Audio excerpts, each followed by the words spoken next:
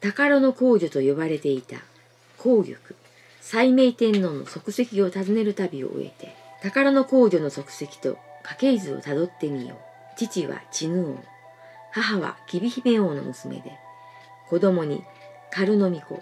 後の皇徳天皇がいたとされている。宝の皇女ははじめ陽明天皇の孫高無王と結婚し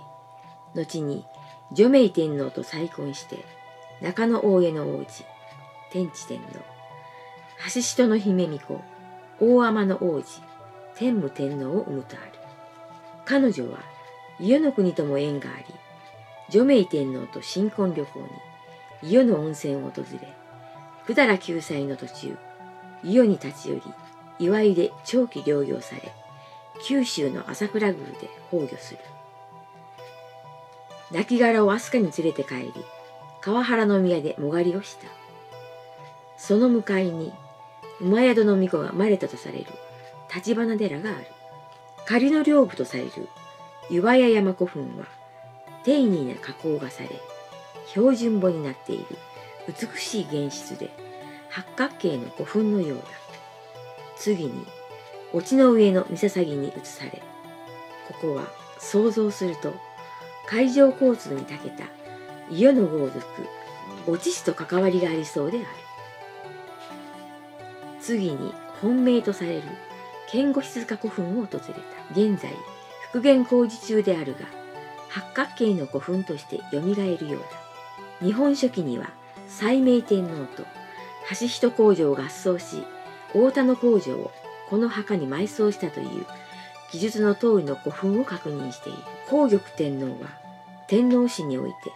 画期的な出来事とされる上位及び長祖が初めてなされたという。なぜ皇玉天皇は上位しまた長祖して西明天皇となったのか。時代背景も踏まえながら西明天皇は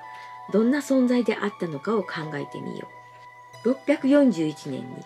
除明天皇が崩御すると皇后の宝皇女が即位し皇玉天皇となる。この時除明天皇の第一王子である古人大江の王子や馬宿の王子の子である山城の大江のオーラを差し置いて皇玉が即位したのはなぜなのか。中継ぎではないとする説があるが日本書紀には日照りに民や蘇我氏が雨乞いしてもほとんど降雨が得られなかったところ皇玉が祈ると立ちどころに大雨になったと記され皇玉が巫女的な要素を備えていたのではとする見方もある。多くのために信頼されていたのである。さて皇玉朝の頃中国大陸では唐が朝鮮半島諸国にも政治的影響が及ぶ中半島で政変が起こり高句麗では642年大臣が国王を殺害し政権を握るクーデターが勃発。また百済では643年に国王の母が没すると国王の弟や子供が島に追放される事件が起こった。こうした半島での政変の情報は政治の実権を握る蘇我氏にすれば飛鳥でも何か不測のことが起きるかもしれないと感じ緊張感に包まれた。645年6月天皇の目前で息子の中野大江の王子と中富の鎌足が図り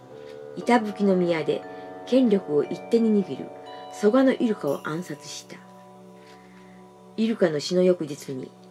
父蘇我の恵美氏も自害し蘇我の本宗家は滅亡。これを一子の変という。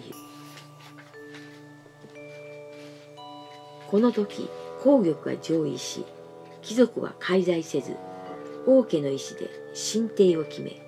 皇玉の弟カルノミ子が即位し皇徳天皇となる。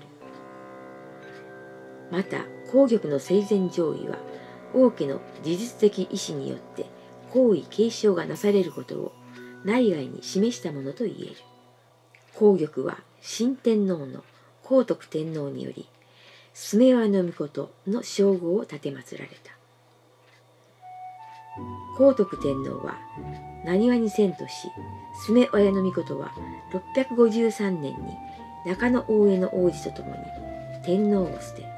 橋下の岬を連れて飛鳥川辺の宮へ戻ったのである。何話に残った皇徳天皇はほどなく失意のうちに崩御中野大江の王子が皇玉と同意の上でこうした虚に出たのを見れば前天皇の皇玉が一定の影響力を持っていたのは明らかである。さて日本書紀は西明天皇は工事を好み溝を掘らせかぐ山の西から石神山まで運河を掘り船で石を運んで石垣を巡らせたとありそれをたぶれ心の溝と言われ無駄な妊婦を3万余り柿を作る無駄な妊婦は7万余り。人々からそしられたとある他にも塔の峰に蓋付きの宮を建て園地などの土木工事も行ったとされている。園地は来庁した外国人施設に見せるために盛んに作られ石敷庭園と噴水などの充実が図られた。百済救援のため西明天皇は自ら尽くしに赴き朝倉宮で崩御これからは試験ですが女明天皇の母